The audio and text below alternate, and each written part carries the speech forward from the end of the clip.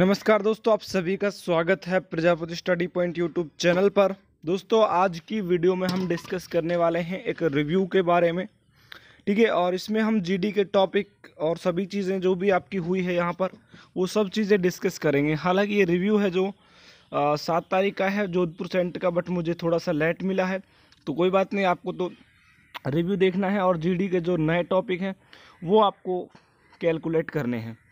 तो सबसे पहले देखिए, इन्होंने शेयर किया कि सबसे पहले हमारी एंट्री यहाँ पर हुई थी पाँच चालीस एम पर, ठीक है? उसके बाद फिर सर एंट्री होते डॉक्यूमेंट वेरिफिकेशन हुआ, five airman selection centre old Pali road, Jaipur area near air force station, सब गार्ड रूम, जोधपुर, राजस्थान। इन्होंने पूरा एड्रेस वहाँ का शेयर किया है, ये मेरा सेंटर था, फिर रनिंग के लिए ले जाएगा। देखिए, जोधपुर का जो रनिंग है वहाँ इन्होंने बताया था कि 600 से 700 मीटर थोड़ा दूर था और वहाँ पर बस से कैंडिडेट को ले जाया गया था, ठीक है? 240 कैंडिडेट की वहाँ पर रिपोर्टिंग थी बट प्रेजेंट थे एक सौ पचासी से लेकर 200 के बीच में। तो यहाँ पर एबसेंट का जो क्राइटेरिया है वो काफ़ी हद तक ज़्यादा रहा है। उसके बाद पाँच से छः कैंडिडेट यहाँ पर रिजेक्ट हुए। तो देखिए, यहाँ पर रनिंग में बहुत ही कम अच्छा पाँच से छः कैंडिडेट वो रिजेक्ट हुए थे, जिनका डीओबी रॉन्ग इश्यू था उनका। यानी कि डीएबी डीओबी से रिलेटेड उनका कोई प्रॉब्लम था, उनको रिजेक्ट किया। फिर सात बजे तक करीब रेस स्टार्ट हुई डॉक्यूमेंट एंट्री टाइम वेरीफाई हो लिए थे।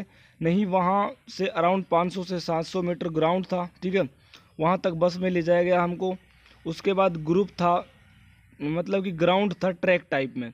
मतलब कि ग्राउंड ऐसा था, कुछ ट्रैक टाइप में, चाहे वो कैसा भी हो मुड़ तुड़ कर, लेकिन वो थोड़ा ट्रैक टाइप में था। पैंसठ से सत्तर का तीन बैच में कंप्लीट करा दिया। मतलब पैंसठ से सत्तर के बीच में एक बैच बनाया गया था और तीन बैच में कंप्लीट कराए गए। ठीक है, हमारे बैच में तीन, इनके बैच में तीन आउट हुए शायद। ऐसा लगता है मुझे। पुशअप एंड स्क्वेट्स में अराउंड सात से लेकर आठ कैंडिडेट को आउट जोधपुर सेंटर माना जाता है फ़िज़िकल के लिए। और फ़िज़िकल भी क्या, रनिंग में तो सभी लोग पूरा टाइम देते कहीं भी, लेकिन जोधपुर सेंटर ऑल इंडिया के अंदर जाना जाता है अपनी पुशअप एंड स्क्वेट्स के लिए। यहाँ पर जो कैंडिडेट हैं, उनको काफ़ी मात्रा में निकाला जाता है गाइज़ पहले भी आपने सुना होगा एक बार नेवी के फ़िज़िकल हुआ था, वहाँ पर 60 percent candidate out in pushups तो बहुत ही यहाँ का वो क्राइटेरिया टफ रहता है, इस चीज़ को लेकर ध्यान दीजिएगा। पुशअप, उसके बाद लास्ट में 121 बचे थे फ़िज़िकल के बाद 20 पहले 20 मार्क्स का ग्रामर टेस्ट हुआ, फिर एडेप्टिबिलिटी टेस्ट हुआ, यानी कि S R T then G D G D में मेरा topic pollution due to smoke था। तो यहाँ पर देखिए गाइज़ ये टॉपिक है, मैंने आपको करा दिया है। अपनी जो बुक है यदि आपने वो परचेज नहीं किया तो आप परचेज कर सकते हैं link given in the description ठीक है, आपको एस आर टी की अलग से चाहिए जी डी की अलग से चाहिए, दोनों कंबाइंड बुक है, वही मटेरियल है, वो भी आप परचेज कर सकते हैं लिंक डिस्क्रिप्शन में दिया हुआ है।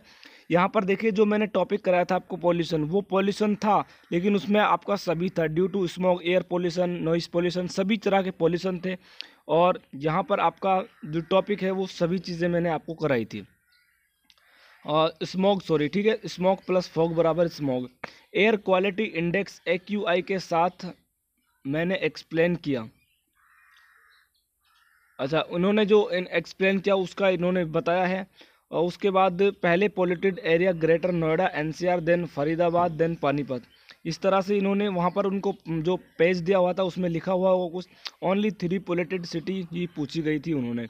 बहुत इजी था सिंपल टेंस प्रिपोजिशन अच्छा ये बात कर रहे हैं गाइज़ वहाँ जो बीस नंबर का इंग्लिश ग्रामर का टेस्ट हुआ था ना, उसके अंदर यहाँ पर इन्होंने पूछा हुआ है। बहुत इजी था simple tense present and article fill up base the very easy इतना इजी कि आप एक्सपेक्ट भी नहीं कर सकते। जो बीस क्वेश्चन का ग्रामर का टेस्ट हुआ था, उसके बारे में बता रहे कि इतना इजी था कि आप एक्सपेक्ट भी नहीं कर सकते। इंक्रीज ऑफ़ पॉपुलेशन रैपिडली यानी कि यहाँ पर इनका जो टॉपिक जीडी टॉपिक बता रहे हैं, ठीक है? Role on social media in young generation. तो ये टॉपिक भी मैंने आपको कराया हुआ है, फ्रीडम ऑफ़ एक्सप्रेशन। यानी कि मीडिया की स्वतंत्रता, वही आपकी सभी चीज़ें हैं। ये टॉपिक हैं, इनके थोड़े नाम बदल जाते हैं बट एक्सप्लेनेशन वही होती है। Mobile phone beneficially for youth ये भी मैंने आपको अपनी बुक के अंदर कराया हुआ है। जनरल सोसाइटी से रिलेटेड टॉपिक थे ओनली टू हाँ जी सर यहाँ उन्होंने बोला कि ऑनेस्ट हो जाए डरने की कोई ज़रूरत नहीं है स्टाफ बहुत कोऑपरेटिव है स्टूडेंट्स को फुल सपोर्ट करते हैं, बस उनकी इंस्ट्रक्शन पर फॉलो करें। लास्ट टू टाइम से क्वालिफाइड करता आ रहा हूँ मैं, पर मेडिकल रेफ़र मिलता है। तो इस भाई को रेफ़र मेडिकल मिलता है, इसके लिए मैं कामना ही करता हूँ कि इस बार इनका मेडिकल फिट हो जाए, वो क्लियर नहीं होता। और रह जाता हूँ मेडिकल जनवरी 2020 में इनका 17 जनवरी को फ्राइडे को इनका गाइज़ मेडिकल है।